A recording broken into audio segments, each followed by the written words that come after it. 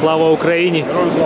Що ж, подякував вашій команді за гру, за боротьбу на полі. Хоча вдавалося, ви перші забили. І на мою думку, я гадав, що ви доведете матч до завершення на свою користь. Але все ж таки в другому таймі ви трохи, на мою думку, втратили концентрацію і програли цей матч.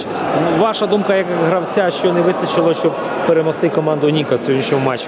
В першу чергу е, дуже багато індивідуальних помилок у гравців. Ви бачите, що обидва голи виключно не через технічні тактичні дії суперника, а просто м'яч постійно через те, що гравці помиляються. Ну це, е, скажімо так, не основна причина. Основною причиною стало те, що ми е, зіграли навіть не в свій футбол, і не в футбол суперника. Це була, я не знаю, якась равникова гра.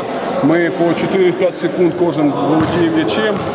Е, робить по 3-4 дотика для того, щоб е, зробити передачу, вдарити, знайти гравця. І е, це дає змогу супернику і правильно стати позиційно і знайти гравців, яким можна було е, нам віддати передачу. І це неймовірно просто робить футбол повільним, а навіть проти такого суперника, як Нікас, надто повільний футбол.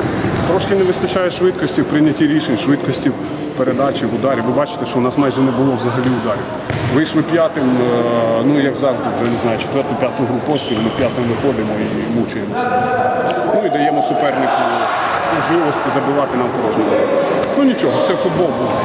Що ж, подякував вам за змістовне інтерв'ю і бажаємо успіхів в наступних матчах. Спасибо.